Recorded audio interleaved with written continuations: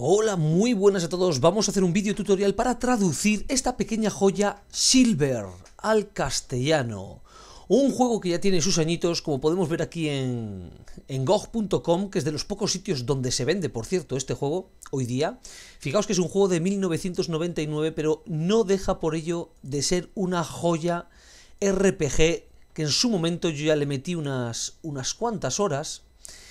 Eh, Creo recordar, porque yo, bueno, yo esto lo digo porque creo que fue así. Yo creo que recordar que este juego cuando, cuando salió en España, salió una versión en castellano. Al menos, eso es lo que yo, lo que recuerdo del juego.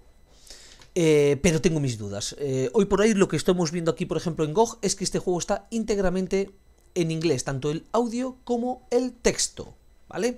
Pues desde Clan Dlan, cómo no, y desde su autor, que es Arak, el cual aquí agradecemos tanto a la web como a Arak, eh, tenemos la traducción al castellano de este juego de Silver. Eh, pues eso, de, de, forma totalmente gratuita, como no.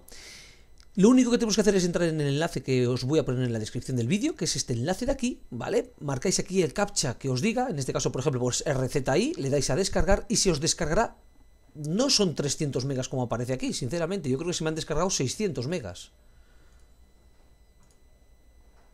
Son 600 megas, pero bueno, son 600 megas que os tenéis que descargar. Estamos hablando que sería la traducción de audio, voces y texto, o sea, de todo el juego totalmente al castellano. Lo descomprimís, ¿vale? En este caso yo utilizo el 7-zip y aquí tengo el, este archivo descomprimido, ¿vale? Entramos y nos aparece dos, un archivo y una carpeta. La carpeta es data y el archivo LMTXT. Pues nada, simplemente lo leemos y dice, hola a todos, lo único que tenéis que hacer es, para traducir el juego Silver completamente, es copiar la carpeta data, o sea, esta, en la raíz del juego, en la carpeta raíz del juego, y sobreescribir y luego, bueno, que dice que es aconsejable eh, guardar los, los, la carpeta original data, por si acaso, ¿vale? Yo esto normalmente no lo suelo aconsejar porque si sale algo mal, pues vuelves a descargarte el juego y punto, y lo vuelves a tener otra vez de la forma original, ¿vale? Pero bueno, en cualquier caso, lo único que tenéis que hacer es esta carpeta sustituirla, yo no tengo el juego con lo cual no os lo puedo enseñar, pero sustituirla con la carpeta data del juego donde tengáis instalado Silver.